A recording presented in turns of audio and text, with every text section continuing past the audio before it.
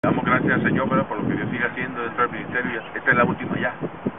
La, semana que entra empezamos los playoffs, que se empieza el sábado que entra. Eh, ya vamos a ver, la, en este juego se tiene que, que, que tiene que cumplir porque esta es la posición para cada uno de ustedes, que es que muchos van a quedar eh, siempre y cuando llevamos a cabo esta, esta última fecha.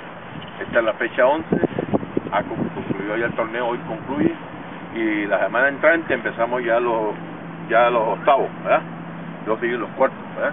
Y luego después la final. Así que agradecemos a Dios que nos ha dado la oportunidad de terminarlo y que logramos terminarlo, que yo parecía que íbamos a cancelar, pero no.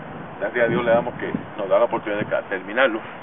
Y vamos a orar, vamos a inclinar nuestro rostro y vamos a orar al Señor para dar comienzo a esto y ya empezar a calentar y a correr. ¿Ves? Así que eh, en estos momentos pues inclinen su rostro y oremos a Dios. Amado Dios, te damos gracias por lo que tú estás haciendo dentro de este ministerio, por estos jóvenes. Te pedimos, Señor, que tú los guardes, los guardes, los cuides y que los protejas, Señor, y así como han venido ellos, así mismo Jesucristo, se vayan a su casa. Bendícelos ahora, Señor, guárdalos y Padre amado, calienta este ambiente para que ellos se sientan mejor, más a gusto, jugando en esta competencia que sigue ahora, Señor, y que concluye hoy, que la semana entrante empezamos ya con los octavos del torneo invierno que en este momento Jesús te pedimos la protección tuya, la protección tuya, papá, que tú los ayudes y que ellos prenden su lengua y que ellos no maldigan este lugar, sino que bendigan este lugar, porque este lugar es santo, este lugar es santo, porque está tu presencia, tu unción. Gracias Jesús, en el nombre de Jesús. Amén. Yo, bueno, gloria a Dios que tenemos frío y no vamos a estar una eternidad en el infierno quemándonos. Gloria a Dios. Me gustaría empezar a 32 a 24. Me gustaría que escucharan, nomás son 5 minutos dijeron, pónganme toda la atención posible que se pueda. Esperemos que Dios sus vidas en esta semana después de esto.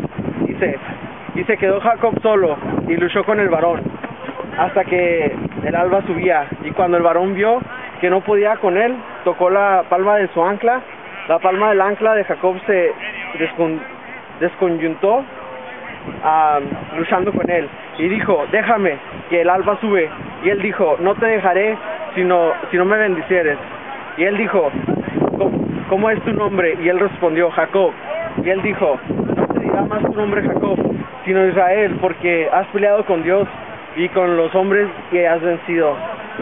Esta historia me impacta. ¿Por qué sería? Porque Jacob fue un, un joven de, de un proceso muy intenso. Yo sé que Dios es un, es un, es un Dios que es de, uh, de procesos. Todo tiene bajo control Dios. Es de procesos y hay una enseñanza detrás de todo. Jacob vino una vez y le dijo, le dijo a Dios que se fuera de su pueblo y que fuera a buscar a su mujer. ¿Cuántos de nosotros no nos ha hablado Dios y nos ha dicho que fuéramos por algo? Que fuéramos por una bendición, por una conquista, por algo. Creo que todos aquí hemos pasado por eso. Um, después de esto, Jacob se fue, se fue a, buscar a una tierra que Dios le dijo exactamente dónde iba a ir. Le dijo que iba a ir con su tía. Va Jacob, se mete con en, en la familia de ellos y empieza a trabajar y el, papá de la muchacha le dice, aquí está, te la presento. Qué raro que después de tanto trabajo el, el suegro le dice, antes de eso no era suegro, pero le dice, tendrás que trabajar siete años para yo poder darte a mi hija. Dijo Jacob, bueno, lo tomo. Trabajo siete años. ¿Cuántos de nosotros no hemos trabajado bastante? Y Dios nos ha llevado a un lugar, trabajamos y después de tanto trabajo nos sale el suegro con que, no, pues sabes qué, pedía la que no era. Ahora si quieres a, a, a la que yo te, te iba a dar, tienes que trabajar otros siete años. En total se aventó 14 años él trabajando, se podría decir como un esclavo a su, a su suegro pero yo veo en la Biblia que Dios siempre estuvo con él, que todo lo que él tocaba, Dios lo bendecía. Ya después de cumplir los 14 años que se aventó a él trabajando para su suegro, le dice, bueno, toma a tus mujeres y vete al lugar. Ya cuando iban caminando, viene Jacob y empieza a luchar con este varón que menciona la escritura. Muchos dicen que era Dios, muchos dicen que era un ángel. Um, en concreto no, no, no sabemos si era un ángel o Dios, pero en, la, en, la, en el último pasaje que leímos decía que él, que Jacob había luchado con humano, con Dios y había vencido. Y me impacta el hecho de que dice, se rompió su, su, su anco. A lo mejor nosotros salimos de todos bien golpeados, pero él nunca, nunca se dio por vencido. Vino Jacob y lo agarró y le dijo, no te voy a soltar, no te voy a soltar hasta que me bendijeres. Esa es la actitud de nosotros que debemos de tomar. Esa es la actitud que debemos de decir, bueno, me pase lo que me pase, a lo mejor me quedé sin casa, a lo mejor me quedé sin trabajo, a lo mejor mis amigos, mis amigos me dejaron, se fueron, y ya, ya, tiro la toalla, ahí está Dios, todo lo que tú querías ah, conmigo, mejor ahí lo dejo, antes me iba mejor cuando no era cristiano, cuando no conocía de ti. Ahora Dios te dice, sigue luchando. ¿Por qué? Porque ese es el carácter de, un, de un guerrero de Dios, el seguir luchando. Sigue luchando y vas a ver que Dios te va a bendecir. Y no es el, hecho de, ah, pues Dios, pobrecito, Dios dice, pobrecitos de ustedes, ya se cansaron y no pueden, sino porque es una prueba, dije, Dios es un proceso, Dios es un Dios de proceso. Nosotros tenemos una escuela que se llama vida.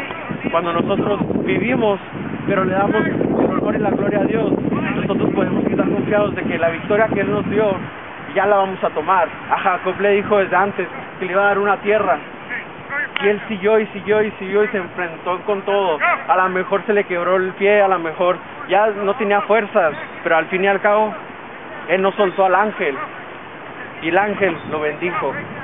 En esta tarde me gustaría que nos fuéramos con esto. Quizás está frío, pero como les dije, es mejor tener frío, aguantarnos el frío, a irnos sin Jesús, a irnos sin Jesús y estar en, un horno por el resto de la eternidad. Entonces no, no, no hay que quejarnos. ¿Por qué? Porque esto es, es una escuela. Si ustedes vinieron a jugar, fue por una pasión. Ahora vamos a tener esa misma pasión para con Dios. Todo lo que nosotros hagamos, vamos a hacerlo para exaltarlo a Él. Porque Él cuando, nos, cuando Él es exaltado, Él bendice a su pueblo. Anoche en el servicio de, jóvenes de, de, mi iglesia, nosotros estábamos adorando y nosotros estábamos buscando y se manifestó un demonio en una muchacha. Y gloria a Dios que nosotros seamos preparados, porque en el momento que tú te duermes, puede venir el demonio, te cachetea y vas al piso. Y para levantarse del piso es muy pesado, no cualquiera lo hace. Yo les digo, no, aférrense a las promesas de Dios. Si no saben las promesas de Dios, empiecen a leerlas. ¿Por qué? Porque ahí es donde están las victorias el declarar las victorias que Dios ya nos dio, eso nos hace a nosotros vencedores en Cristo. Y es lo único que necesitamos. Amor por Él, pasión por Él y seguir con Él. Y me gustaría que se pusieran de pie para orar. Y como les digo, váyanse con eso.